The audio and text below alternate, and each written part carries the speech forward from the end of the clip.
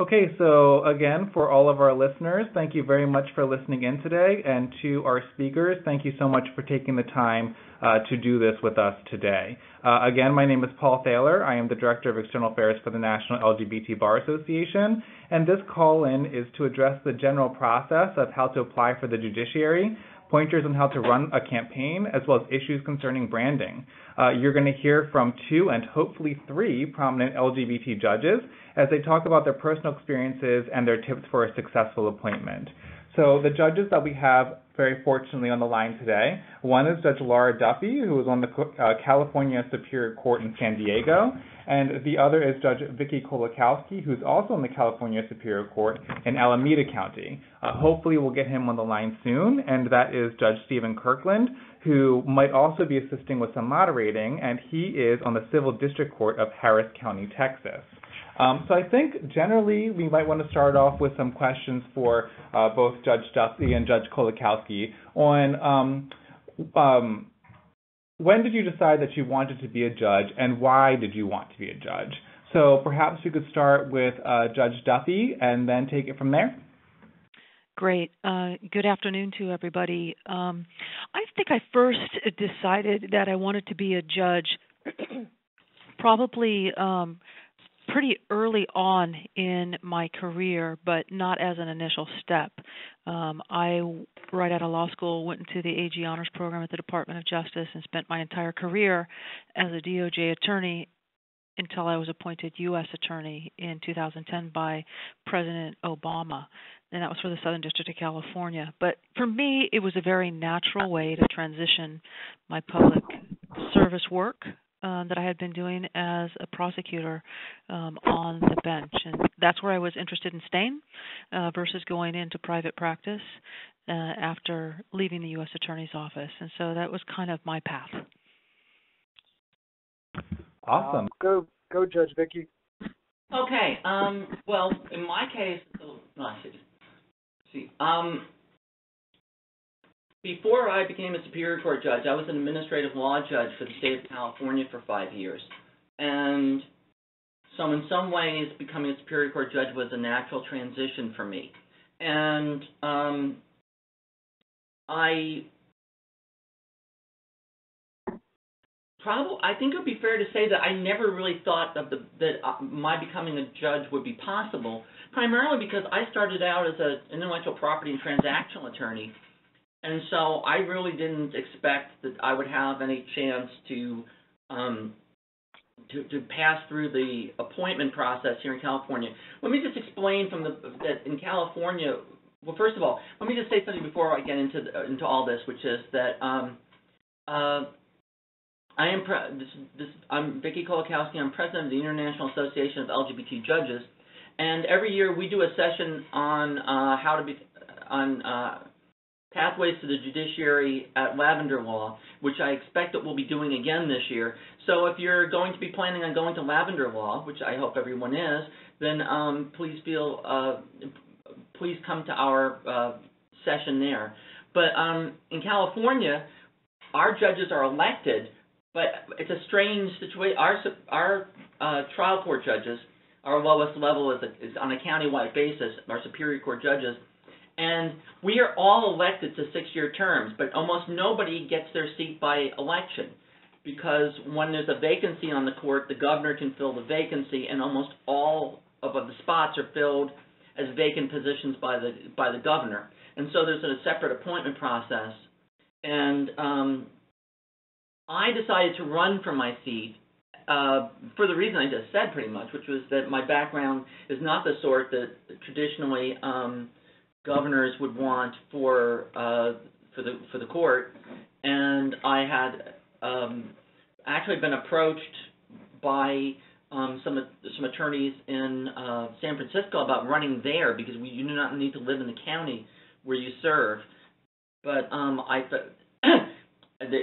seeking to have me run against an incumbent, which I did not want to do but uh, that made me think that I, that was seriously about running for the position. And so I ran in 2008 and was stomped, and then I ran again in 2010 and won uh, in a runoff. And so um, that's kind of uh, how I wound up where I am.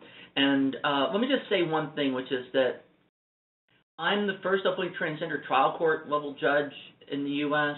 There's some confusion about all of this because during the period between my ele- my election in 2010 in November and my swearing in to my when my term began in January, um, Judge Phyllis Frye was appointed a, a municipal court judge in uh, in uh, Houston, Texas, by Mayor Annise Parker, making her the first openly transgender judge. And so, um, some sometimes people will hear this and wonder what all this is about. So if you haven't heard that story before, that's what that's about. Anyway, I'll move on to Judge Kirkland.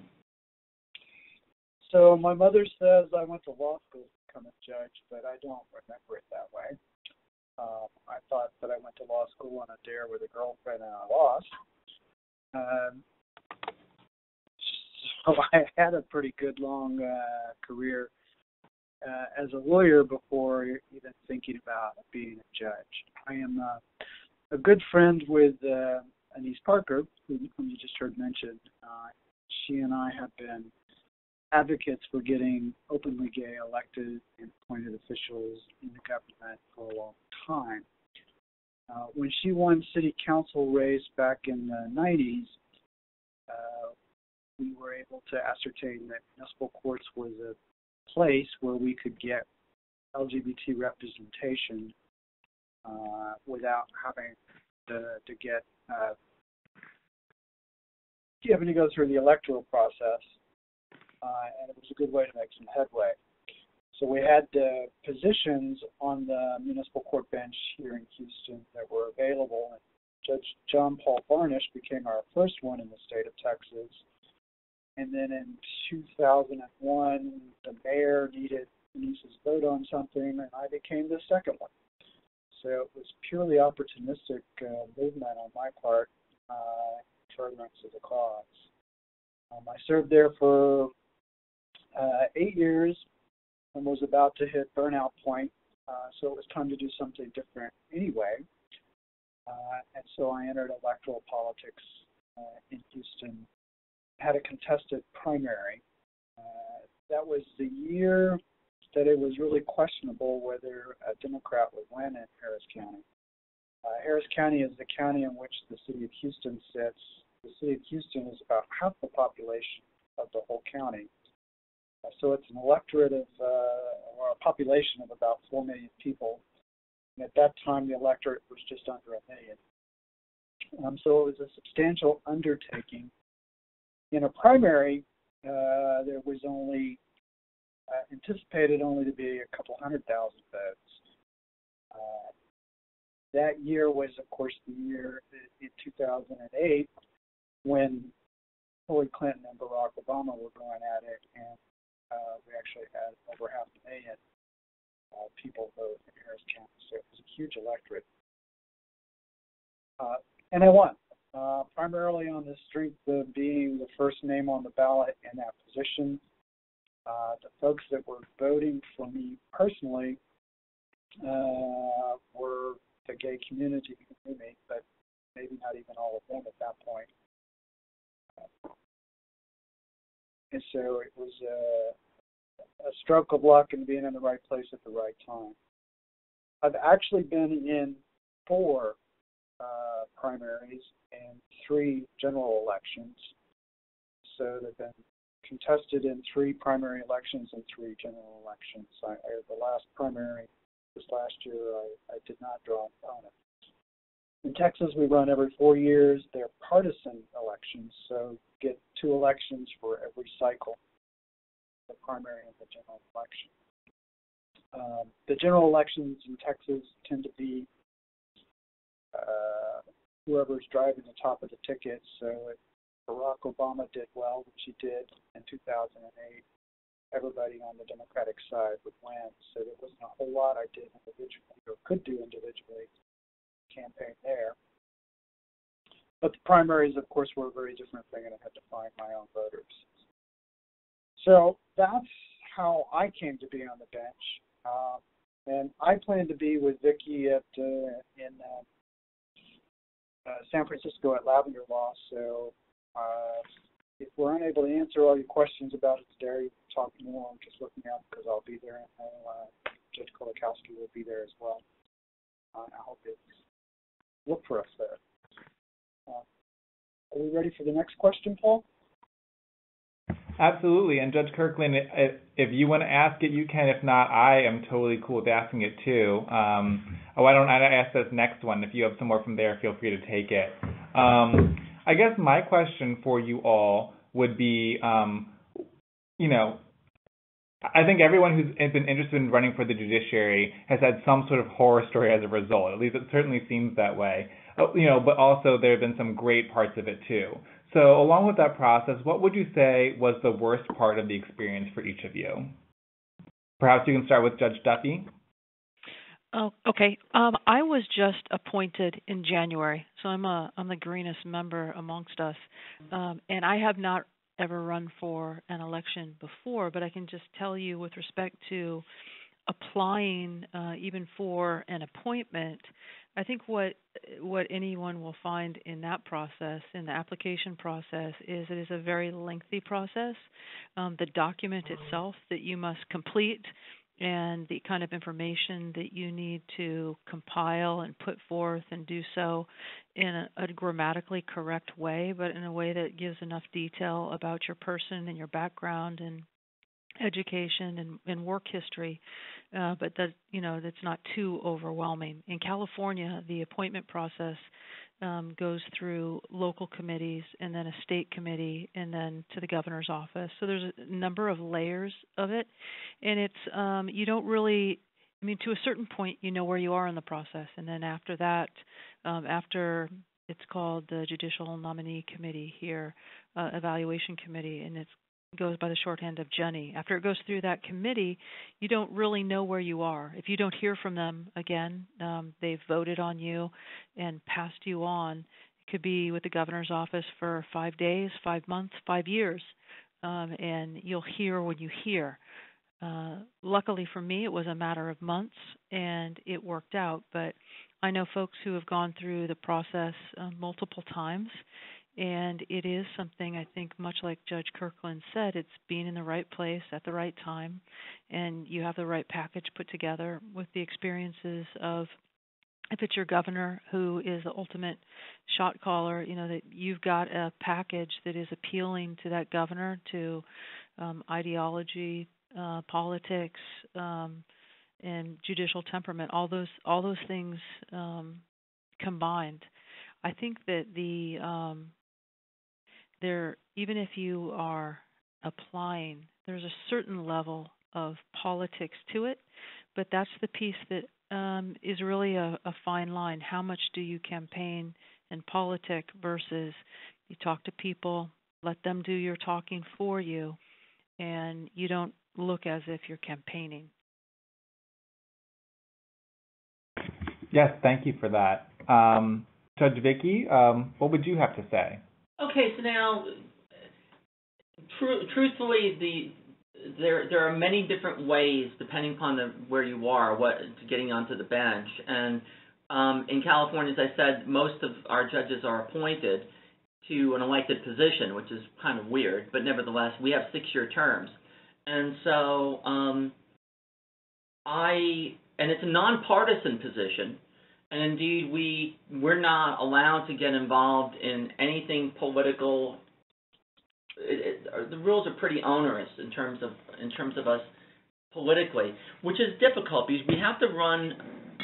For those of us who who, who are on the ballot, we have to run an election which has the kind of uh, uh, issues that Kirkland pointed out, which is that um, people who go to the polls go to the polls to vote for people for president, for governor, for various other things. They come in with with their own partisan agendas and things like that, and you have to run a campaign in California where you pretend like you're not partisan and where you cannot talk about what you're going to do.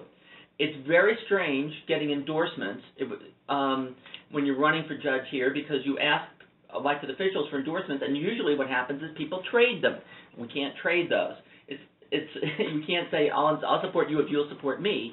I can't you can't say support me and I'll do X. All you have to do, all you can do is say, I'm going to be really good, and I'll say, oh yeah, I like you, and you know, thumbs up, which is which is bizarre. So we're, you have to run a political campaign. You have to an electoral campaign that's not political. The people who know how to run campaigns are all political. Convincing them not to be political while they're doing their job of trying to get you elected is painful.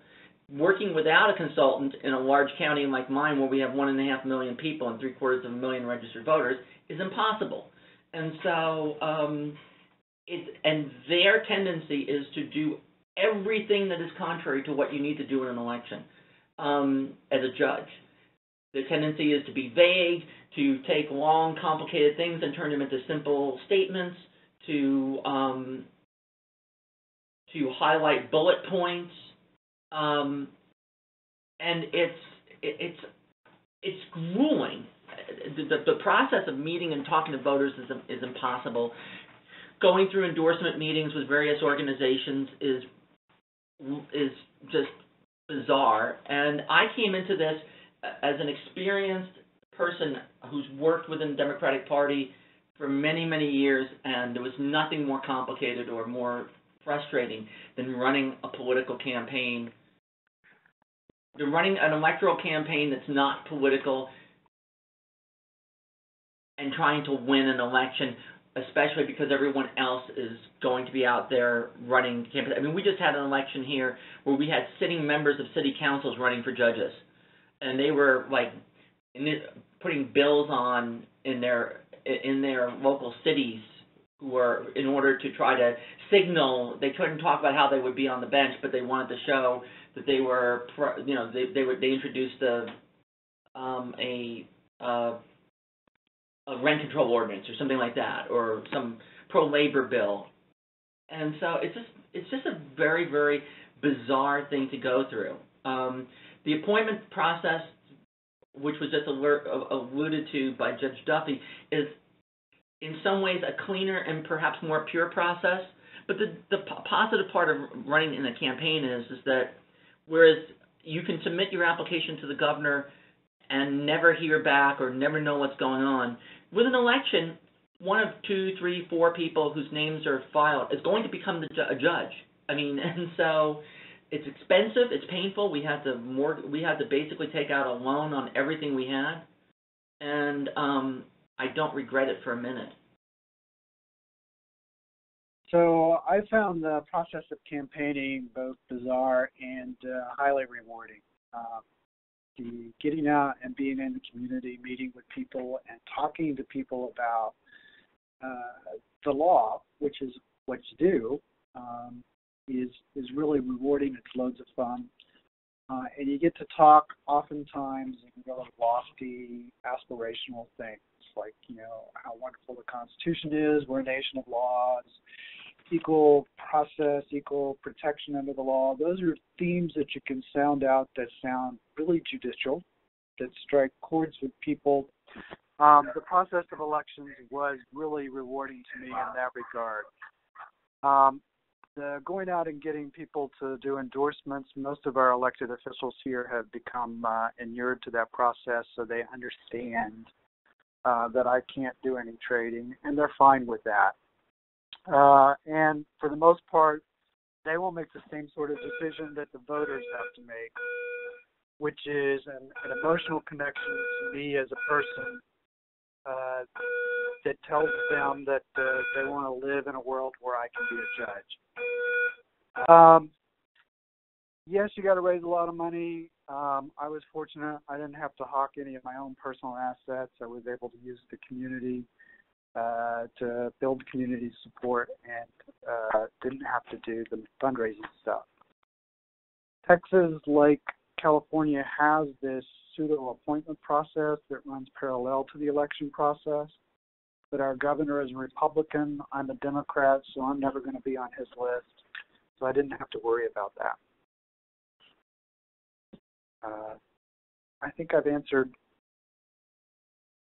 all I awesome. can say about and, all that. Um, the next question that I want to ask is, and I, Judge Duffy, I know that you were appointed, you know, the first time through.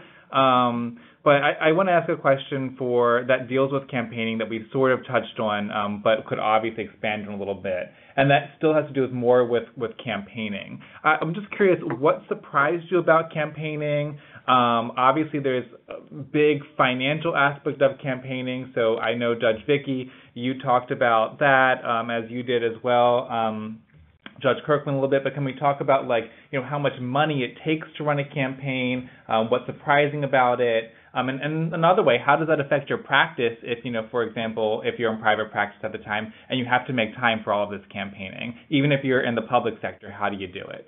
So um, I don't know who wants to start with this one first, uh, maybe Judge Vicki, um, but I think that our listeners definitely probably have questions about that. Okay, now how much it costs to run an election in California really depends. Uh, so now, for example, my county, as I pointed out, we have we have three quarters of a million registered voters in my county.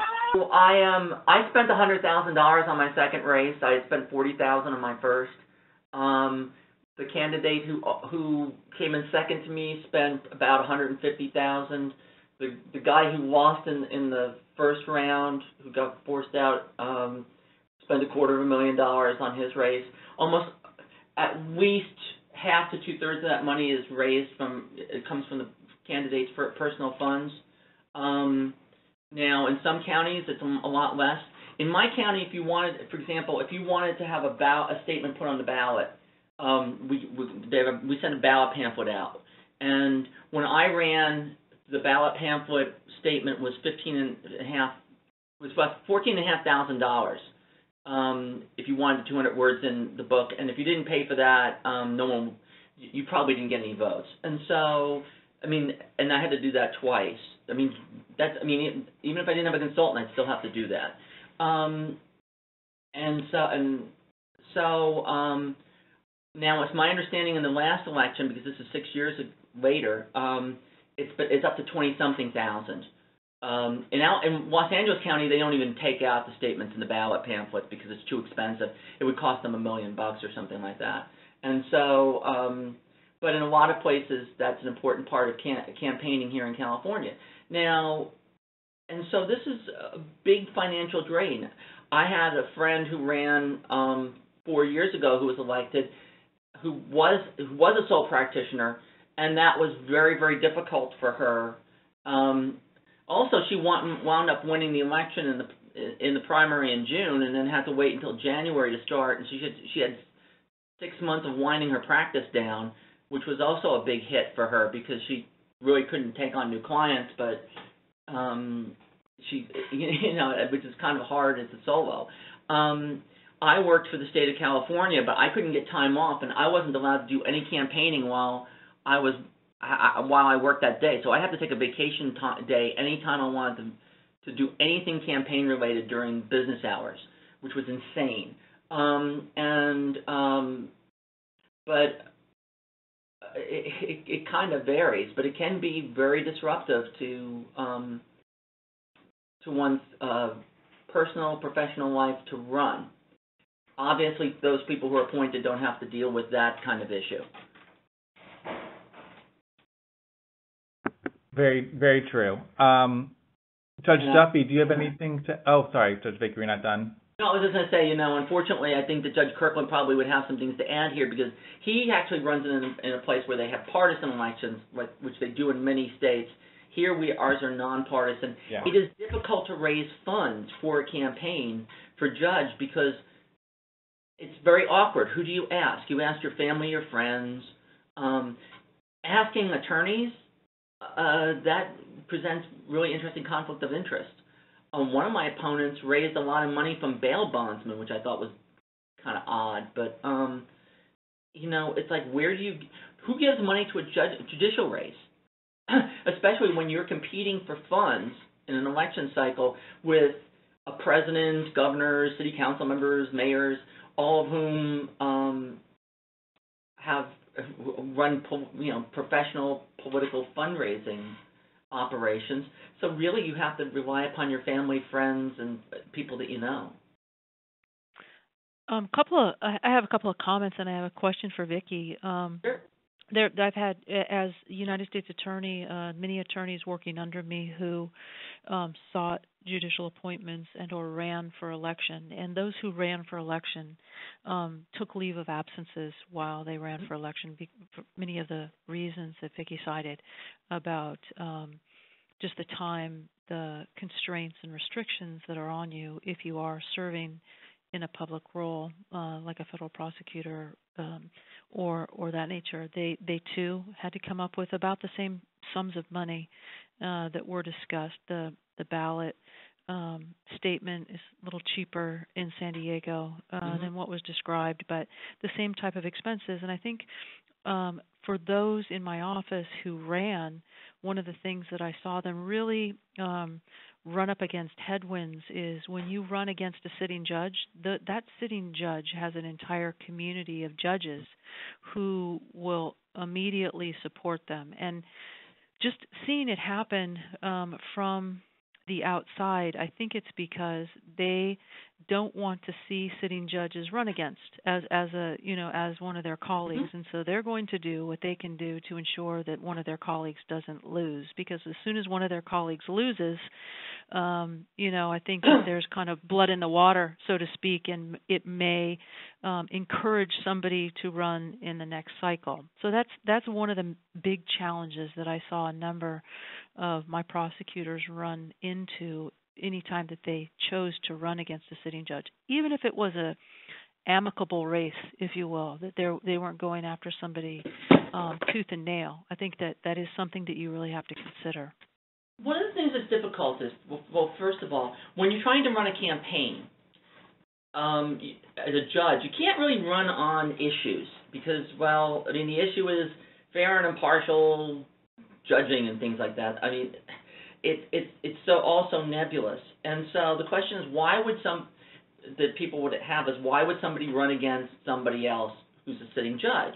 And often that's because the judge is has a reputation for being unpleasant or difficult or incompetent or something. And I think that it's often perceived by um, by those on the bench as uh, as a statement about those sorts of things and also about the concern that um, people might be challenged based upon uh, how they rule in cases, whether they're perceived as being uh, pro plaintiff or pro uh, defendant, pro prosecutor or pro criminal defendant, those sorts of things. Uh, pro, you know, some people might be perceived as uh, being, you know, pro husband or wife in divorce cases in family law, things like that. And um, one of the things that's that, that this implicates when you challenge a sitting judge is the question of whether or not you're running a race that attacks the independence of the judiciary. And um, that's almost always how a challenge is going to be framed uh, by the, by the incumbent as an attack on the judiciary. Often it's meant to be. Um, we've had cases here in California where people have run against uh, sitting judges because they have, well, ethnic sounding names or because um, they might be perceived as not being friendly enough to some interest on the outside or they might be viewed as there was a in your county in San Diego there was an election a number of years ago where people where some people ran claiming that the incumbents weren't Christian enough. And so um, this is one of the this is one of the dilemmas for especially for us as as, as judges as we sit there as you watch as your if your one of your colleagues gets challenged is what do you do about that and what can you say about it? I mean we have a we have an income a, a present uh, we have a judge who's presently sitting who's facing a potential recall um, and you know any of these things that look like they could be attacks on the judiciary um, get uh, people's uh, rankles up. But then again, part of it also is, for the most part, just for for the audience's sake, as I said earlier, most of the people in California who get appointed, who are on the bench, who are appointed, these are these are not people who go through the political process. They don't run for office, and I think that a lot of of incumbent judges are terrified of facing the electorate anyway, and so. Um, I think that that you're really hit on something there with the the fact that um, people don't want to people don't want to have a challenge uh, whenever the, the deadline, because here in California, if you do not file the initial papers to run against a judge, we're automatically reelected. Our name doesn't even show up on the ballot. And so, um, uh, judges will hang out waiting outside the registrar of voters office, waiting to see if somebody pulls papers at the last moment, just to see if they if they face a potential challenger. And you know, sort of this like sigh of relief goes out every two years when we discover whether or not that anybody's going to be challenged. We haven't had a challenge in my county to a sitting judge in since consolidation back 20 something 27 years ago, whatever. I mean, 10, 17 years ago. And so there's been none in this millennium. Anyway, so that does that answer your questions? Doug? Oh yeah. I mean, Judge Duffy? I know Judge Duffy, did that answer your question or comment? Um, yeah, I was. It, it does. I just, um, I, I was wanting to, you know, just kind of get get somebody's take on that who'd run for election and, and their experience. Oh no, I think that there's definitely something to that, and and I do think that that that in a county, for example, if you have a county where there's like my county has about 80 bench officers, about 70 something judges. We have about 25 people up for election every two years. You know, the question is, who would you challenge? Um, and why why me? And so um, it's it's a tricky thing. Uh, yeah, for, for those so for those who are thinking about it, you know, think about that carefully. If if you are going to challenge a sitting judge, who are you challenging? Why are you challenging them? And and um, you know, as Vicki alluded to in California, it's it's not going to be a political debate. And so, I mean, people will, and then the question, here's the thing, one of the things that you should be prepared for, whether you're applying or whether you're, whether you're running, is the first question everybody's going to ask you is, why do you want to be a judge? And if you're running against somebody else, they say, why, you know, if you were running against an incumbent, they will then ask, why are you running against, why are you running against this particular judge? And so, and you have to do this where you, in a race where you cannot be where we are not allowed, you can't go negative. You can't, the codes of ethics pro- prohibit us from doing hits on the other person, from saying anything that's not demonstrably true, from misstating our credentials or the other person's credentials. And so it's very tricky. And so our races are insanely pleasant for the most part, um, at least superficially. And, and so you have to be able to answer that question. Why are you why are you running? Or if you're applying, you have to answer the question why why are you applying for this? Why what why do you want to be a judge? And that's really the the question that you always have to have center central in your mind. You have to answer for people. Um, why you want it, and then the question, the, the flip side is why would they want you to be? Why would the person who's making a decision about you, whether it's a voter or a, a governor or somebody on a on a vetting committee, would want you to be a judge. And so, Thank you And for to, that, to, Judge. to those who are, oh, go ahead. Sorry, keep going, Judge Duffy. I didn't mean to interrupt. I was going to say, you know, to anybody who's thinking about it, I think one of the best things to do is to talk to people in your community who have been through both sides of the process, who know the process very well, who know individuals who are involved in the process, whether that's local vetting committees or the statewide committee or people who know people in the governor's office. So you really understand who your audience is at each one of these um, decision points. And part of it is speaking to that audience and presenting your materials in a way um, that is is directed towards whatever their particular role in the process is. In California, it's very defined along the path if you're applying what each stage of that process is. So um, that's something to just be really mindful of. Make sure you understand where things are going and who's involved so you can direct yourself as well as possible. You know, one of the things that comes up for me every two years when we have an election here is people will run, and I'm stunned that nobody like that, that how few of these people call me in advance, or or call even call me as they're starting to run, um, just because of the fact that it was my when I when I decided I was going to run, I talked to every person I could find who would ever run. um, whether they won or lost. Just because it seems to me that in general, I mean, if I'm applying for a job, I want to talk to people who've done that kind of job. It, just seems like informational interviews and things like that are like such a fundamental, basic idea that you'd want to do, but people don't think of it, which just mm-hmm. continues to stun me. Um, and so I agree 100%.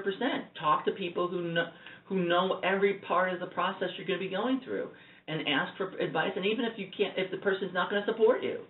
Uh, well, uh, thank you both for, for that bit of that discussion. I know that um, y- you all are probably on your lunch break. We have probably about uh, five to maybe eight more minutes left until we have to end today. I have a lot of other questions I would love to get to, so we might have to do a part two for this. But I did get a couple questions from listeners, and so I just want to make sure that I get to ask them. The first one was, and I know um, Judge Duffy, since you were at the U.S. Attorney's Office for a while, this one seems especially relevant. But one person says that they've only been practicing one type of law for their whole career, and so they're worried that they're not when they their state has a judicial nominating commission, and they're apparently worried that um, they're not going to look uh, like they've had enough experience with different types of the law when they go to apply for the bench. Can you talk a little bit about that and how to um, uh, make make sure that you seem appealing um, for the bench, even if you've only practiced, let's say, criminal law or civil law, whatever it might be? Mm-hmm. Um, well, I do think it is. Um, it makes you a more marketable um, commodity, and whether you're running for an election or whether you're seeking appointment, to have a variety of legal experiences. Because certainly, um, a judge is going to be dealing with in California. You you know, depending on what your assignment is, and they're going to vary um, over time. Civil experience and criminal experience uh, would be valuable. But I think what you've got to do is you've got to take the experience that you have and see where could I plug holes. There's a couple of things to do here. Where can I plug holes? And um, if if I don't have a practice right now, whether that's in public service or private practice, that allows me to do that, maybe I can partner with somebody who is doing that in my office. Maybe I can volunteer uh, to go pro bono on a case if I've just got civil experience. Maybe I can get involved in the community in some way addressing these issues. Maybe I can get involved um, in a case in a limited way. But I do think showing some effort um, is is going to be good. Now, look at I I think that there are people who get appointed and elected all the time who have one side or the other, and judges coming into um, coming onto the bench, you you are going to be learning law. And I think as long as you show, um, if you just have the one type of experience, you have an aptitude for learning, that you're an intelligent individual, that you learn quickly, that you can apply acquired knowledge. Um, those are the kind of skills that you have to show. Those, those are transferable from my legal practice to my practice on the bench. And what judges do is they make decisions and they make decisions based on the facts that are impartial and you show experience doing that um, I think another thing that you can do is get involved in your community and get involved in other things because in in all of the folks as I, when I was in the U.S. Attorney's Office who ran for office or who were seeking appointment, in my own experience, community involvement and volunteer work and being part of organizations and associations is is an important thing and they want to know at least in the appointment process anyway if you weren't why weren't you what were you doing with your time um, for those who are involved in public service it's a little easier because everything that you're doing is to some extent you know in the community and public service work for those who are in private practice i think that's all the more important so this is Judge Kirk. Let's second what uh, Judge Duffy is saying about community involvement. Uh, in a election environment where you're just going on election, your community involvement is going to be far more important to persuading people to vote for you than your professional background.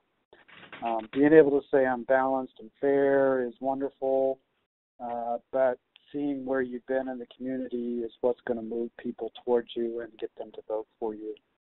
Um, and once you're on the bench, you're going to learn a lot and you're going to get all kinds of different opportunities to practice and study all kinds of different kinds of law. But you don't have to know it before you get there. Uh, it, and yet, this is Judge Kolakowski. The thing I would just add with that is, is that um, checking your check again, like we were talking about earlier. Find out, talk to people who've been through the process in your jurisdiction. In some state, in some places, they really want to see a different, uh, uh, certain types of uh, experience on the bench for for candidates to, for appointment or election. Other places not that may not care about the same things. I think in a lot of ways, what's really important is that that you have the temperament and the and the skill set. Uh, but then again, I really didn't think I, w- I would get appointed, but I didn't try. I ran instead. It's theoretically possible I would have gotten appointed, but I sincerely doubt it. And so, um, but there are things that people do in order to get exposure to other areas, including all the things we just talked about. Sometimes district attorneys will take volunteer civil attorneys to let them do a couple of trials. There may be programs where a big firm might have, uh, hook up with a, a district attorney, things like that. Um, and so there's talk to other people in your jurisdiction and find out how they did it. Awesome. Um, thank you all for, for that answer. We are just about out of time now, which is unfortunate because I did get a couple other questions. I think we might have to do a part two to this. Oh, does anybody have one last thing? Sure, sure. Do you know? Do we have one more? Can we get one more question, maybe? Oh, yes, we can because I'll I'll get to one more question then. Although I did get a few more, and that question is, and I know that this probably is going to differ uh, depending where you are uh, trying to uh, get onto the bench. But there's the question is, do you think being out and proud hurt or, hurt or help your campaign? Um, does it make a difference if your appointment requires an election? That was the question. Um, I don't know, perhaps Judge Kirkland, uh, now that you're back on the line, do you want to start with this one? I will say that it absolutely helps with my uh, getting the election. I was uh, the I met it helped me stand out in the crowd when it was in a crowded primary. So the folks that did vote for me voted for me largely because I was an out gay man uh, who had a long community history. Um, so it helped me a great deal, uh, and it certainly made living on the bench better for me. So uh, there's that to go with it as well. I can tell you that for me, Judge Kolakowski, it was incredibly helpful and was also a good source for fundraising. But I'll also, but I also also I'm going to point out that I live in like the bluest of bluest of bluest places in, in the United States. And so, I mean, when you're trying to raise, when you're trying to campaign in Oakland and Berkeley, um, it's not surprising that uh, being out is, a, is viewed as a positive thing. And where we're like like one of probably a, a handful of counties in the country where being a prosecutor is looked at as being a negative. And so I ran against a DA, and that was the biggest strike against him was that he was a DA. And so, I mean, we're very far to the left where I am. That might not be the same. I, I I mean, even and Houston is is a place that that can be quite blue at times. There are some places where I don't know whether whether it will be as successful, but I think it's always important to be yourself. I would echo that uh, last comment that I think that that's what it really comes down to is being authentic to who you are. Mm-hmm. Um, you don't want to seem as as somebody who I mean if you're if you're not out um, you know that that's an issue for you that you're going to be dealing with. Um, I think that you you also want to strike that balance between um, you don't have an agenda as a gay person on the bench, um, but you are gay and uh, you're fine with that, and uh, you live your life as an openly gay person. Um, I, I think is you know I don't know that in San Diego is probably one of the most conservative cities in the state of California. Um, I don't think it hurt me at all, and I think if you're in a liberal state and where if you're being appointed and you have a governor who wants to have a diverse and inclusive bench, um, it's it's probably a non-issue. Awesome. Um, so we did get uh, a couple other questions, and so perhaps I will forward them along to um, your honors uh, when this is done. And I also think that perhaps we should plan a part two just to um, address some more questions that we did not get time to today. But I do want to thank um, Judge Kirkland, Judge Duffy, Judge Kolakowski for taking the time for this call-in today. Um, it has been a very informative. Um, and I also want to, uh, Judge Kirkland, I'm glad that you were able to work out the fire drill situation. Um, the National LGBT Bar Association can't continue putting together quality programming like this uh, without your, our listeners' continued support. So if you'd like to see more cutting-edge legal analysis, please consider becoming a member of the bar or renewing your existing membership. To learn more, please visit our website at lgbtbar.org. Again, thank you to our listeners for calling in today. Thank you, Your Honors, for taking the time for this phone call, um, and that we hope that you stay tuned for some of the call-ins that we have planned in the near future.